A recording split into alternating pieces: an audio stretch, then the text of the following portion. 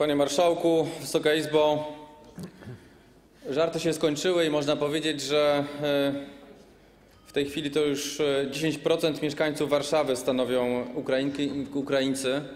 To już jest na granicach wytrzymałości miasta. Jest kilka spraw do poprawienia. Tutaj prosimy o aktywność e, wojewody. Pierwsza sprawa to dworzec centralny.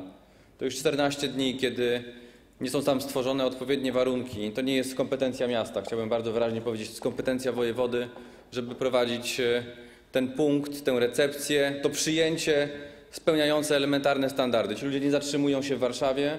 To jest miejsce, przystanek w ich drodze na zachód Europy. Oni muszą naprawdę w tym miejscu zachować dobre wspomnienia.